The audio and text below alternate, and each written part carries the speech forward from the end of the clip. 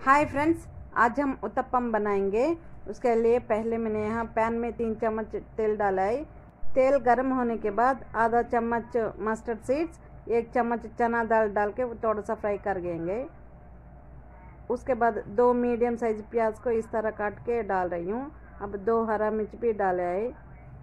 थोड़ा सा मिक्स करके थोड़ा सा हल्दी डाल के अच्छे से फ्राई करेंगे। थोड़ा सा हल्दी डाल लेते हैं। अब थोड़ा सा फ्राई करेंगे। मीडियम फ्लेम में बस आ, कलर चेंज होने तक फ्राई करेंगे। ये कलर आने तक फ्राई करेंगे। ज़्यादा फ्राई होने की ज़रूरत नहीं है। बस थोड़ा ही फ्राई करना है। उसके बाद डोसा का बैटर में मिक्स कर लेते हैं। हम नॉर्मल डोसा बनाते हैं ना वो वाले बैटर में मिक्स कर लेंगे। अगर आपके पास करे लीव्स है तो वो भी डाल सकते हैं। इस तरह पूरा डाल के अच्छे से मिक्स करेंगे।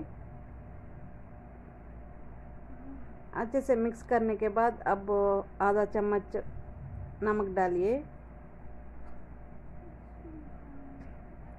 आप जितना बैटर लेता है ना उसके हिसाब से नमक डालना है। अब थोड़ा सा काने वाला सोडा डाल रही हूँ। इस तरह पानी से मिक्स कीजिए, अच्छे से मिक्स हो जाएगा।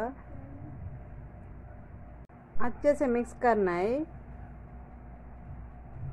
उसके बाद गर्मा गर्म पैन में डोसा की तरह बनाना है।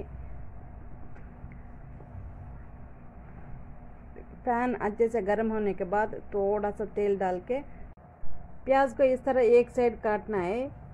तेल को इस प्याज से ही पूरा पैन आने तक ऐसा ही स्प्रेड करना है। प्याज से ही करना है। अच्छे से डोसा आ जाता है ऐसा करेगा तो। अब बैटर डाल के थोड़ा सा डोसा की तरह बनाएँगे।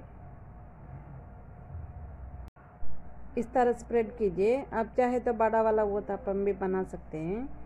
अब थोड़ा सा तेल डालेंगे साइड्स में। अब दो तीन मिनट तक मीडियम फ्लेम में ही पकाना है। थोड़ा सा कलर चेंज होने तक। देखिए अब कलर चेंज हो गए ना। अब पलट लेते हैं। इस तरह पहले साइड्स को ऊपर करना है। उसके बाद पलटना है। दूसरी तरफ़ भी दो तीन मिनट तक मीडियम फ्लेम में ही पकाना है। या फिर कलर आने तक पकाना है। इस तरह गोल्डन ब्राउन कलर आने तक पकाना है अब पक चुका है, अब निकाल लेते हैं। इसी तरह सारे उत्तपम को बना सकते हैं।